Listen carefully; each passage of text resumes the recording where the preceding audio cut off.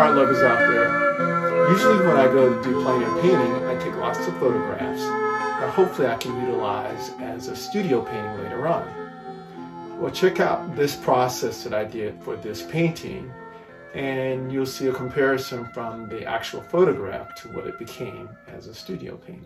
Check it. I start by giving myself an undertone or color that I'll allow to come through and I do a line drawing of my basic shapes like the light and the leaves. Then I put in the light side of the right side of the painting that's a little different than the wooden side. Once I get the lights in, then I do the shadows. I try to blend the light and the shadow together through color mixing, just gradually getting those tones into the other so that the lines are not so stark or harsh. And notice even in my shadow areas, I try to have warms as well as cooler tones, which will give a little more variation to the color.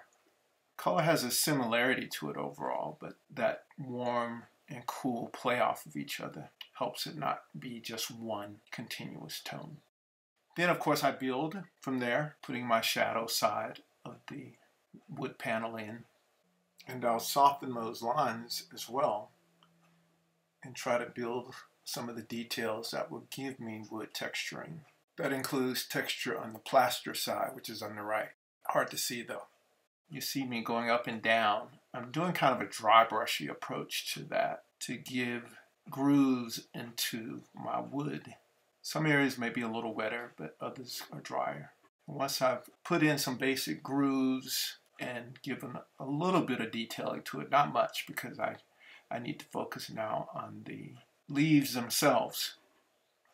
And once I get the leaves in, as I'm painting them in, I'm painting in the shadow and the light areas. I tend to start with the light areas and then build to the shadows, trying to give form as I go in the basic lay-in.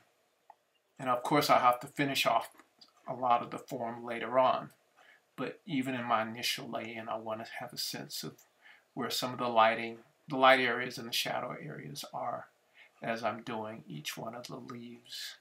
Now my light areas are kind of a medium light, which will allow me later on to go back to give more accent to some of the stronger lights that I need to put in to pull the leaves more forward. Even in the leaves, I'm trying to give variations of tone. I want some areas to have more warmth in the greens, some areas to have more cools in the green, and hopefully feel like they're still one leaf color. That just gives more variety to everything. But in a, a much more toned down or played down fashion, of course. Now the leaves are the center of interest for this piece and that's why I needed to complete the leaves first and make sure the detailing is right for that. Before I added additional detailing to the wood and the plaster areas, that would be the supporting background factor. I needed to keep the balance. I knew I wanted to get a lot more detail in the wood without it overpowering the leaves. I had to figure out how to get areas of detail and where to leave areas of detail out. So I couldn't put everything in, but just determine visually if I'm getting too much, I have to tone it down, or if I need additional things to help give the information that I wanted it to have. One of the additional challenges when doing paintings like this is trying not to get everything evenly crisp and sharp. You want certain things to have a softness to it, and other things you want to have a sharper edge that it will come forward a little more. So keeping that balance is important as well. Now I'm pulling in additional highlights into the leaves and more detailing, such as the light hitting in the leaf that will help it feel more concave or a shadow that will help an edge of the leaf to fall away or maybe it sinks in an area and it puffs forward in an area.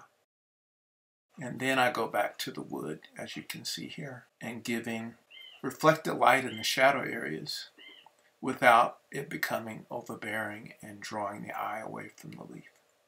So that was a challenge. Here's a close-up of the finished product and you'll see it in comparison to the photo that I worked with. You can see what I changed. Compositionally, I took out some of the right portion, slight bit on the left side, and I altered the lighting, which I thought would give a more dramatic flavor to the piece overall. So remember, don't let a photo dictate to you what the piece should look like.